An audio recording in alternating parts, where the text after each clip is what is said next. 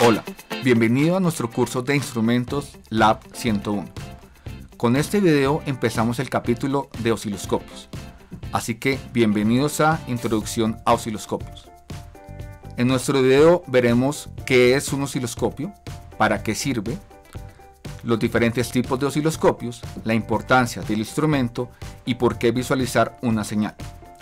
Un osciloscopio es un equipo electrónico de medición, el cual está dotado de una pantalla que permite visualizar las diferentes formas de onda de las señales eléctricas.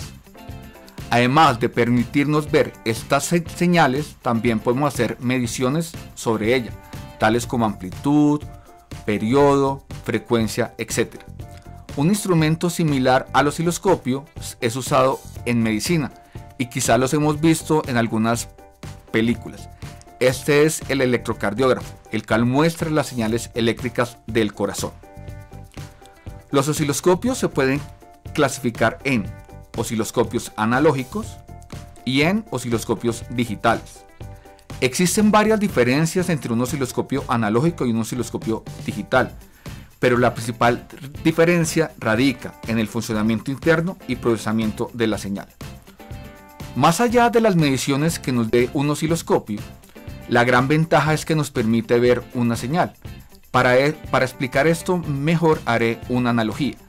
Si yo les describo una persona mayor, de tez blanca, frente amplia, cejas pobladas, ojos marrones y bigote poblado, se podrían imaginar a muchas personas. Pero si les muestro una imagen de esta persona, podrían saber que me estoy refiriendo a Gabriel García Márquez.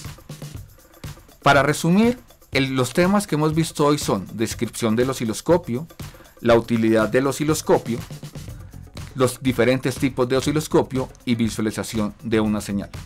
Y hasta aquí nuestro video de introducción al osciloscopio.